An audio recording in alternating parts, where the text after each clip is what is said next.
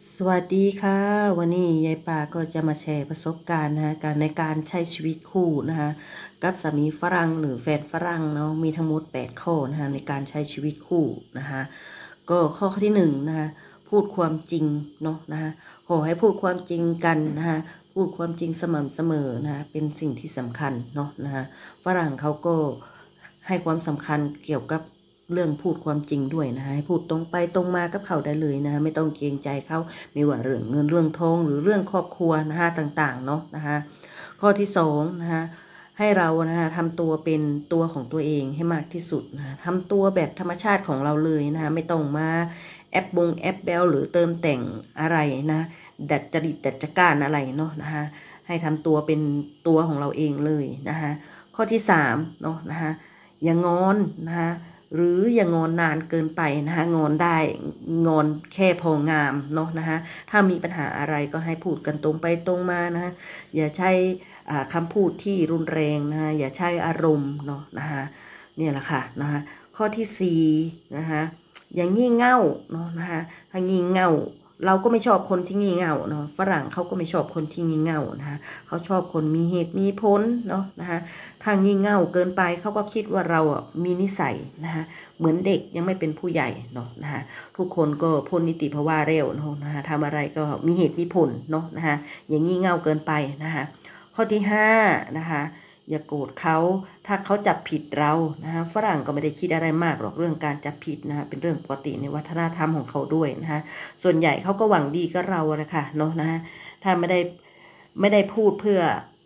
เอาชนะอะไรเรานะเขาไม่ได้พูดเพื่อเอาชนะอะไรเรานะหรือจับผิดเพื่อเอาชนะอะไรเราเนาะนะคะเราเองก็ชอบจับผิดเขาเหมือนกันนะคะอย่างนี้ป้าก็ชอบจับผิดคุณตานะคะแต่ส่วนมากเราก็มีเหตุมีผล ให้กันและกันนะคะเนาะนะคะข้อที่6นะคะรู้จักขอโทษนะคะทำอะไรผิดก็ให้รู้จักขอโทษขอโพยกันเนาะนะคะอย่างยายปาคุณตาเนี่ยนะคะใช้ชีวิตคู่กันมาเนาะนะคะก็ถ้าทำอะไรกันผิดเนี่ยนะคะหรือทะเลาะกันอยู่หรือพูดอะไรไม่เข้าใจกันอะไรเงี้ย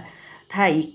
คนนึงผิดเนี่ยนะคะไม่เกิน 5 นาทีแล้วค่ะ ต้องมาขอโทษกันนะคะ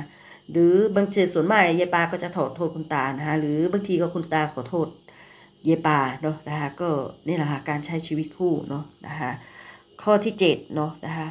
ทำอะไรก็ให้เสมอต้นเสมอปลายนะคะฝรั่งเองเขาก็ชอบคนที่เสมอต้นเสมอปลายนะคะยายปาอยู่กับคุณตามานะคะคุณตานี่เสมอต้นเสมอปลายนะคะเราอยู่กันมาเกือบจะยี่สิบปีแล้วนะคะคุณตานี่นะคะตั้งแต่ครั้งแรก ที่เราคบกันดูใจกันจนกระทั่งเราแต่งงานใช้ชีวิตคู่อยู่ร่วมกันนะคุณตาเสมอต้นเสมอปลายตลอดเนาะไม่ว่าทั้งในครอบครัวของยายปาหรือตัวของยายปาเองนะคุณตาเสมอต้นเสมอปลายตลอดเนาะนะคะข้อที่แปดเนาะนะคะทำอะไรนะคะก็ให้รู้จักขอบคุณกันเนาะนะคะอย่าง เขาให้อะไรเรานะคะไม่ว่าสิ่งเล็กสิ่งน้อยนะคะเราก็รู้จักขอบคุณนะคะไม่ใช่ว่าเป็นสามีเราเขาให้แล้วเราเราเดินหนีอะไรเงี้ยนะคะไม่ใช่นะคะแม้แต่สามีหรือว่าคนรอบข้างอะไรนะคะเขาให้เราเราให้อะไรเรานะคะเราก็ต้องรู้จักขอบคุณเขานะคะ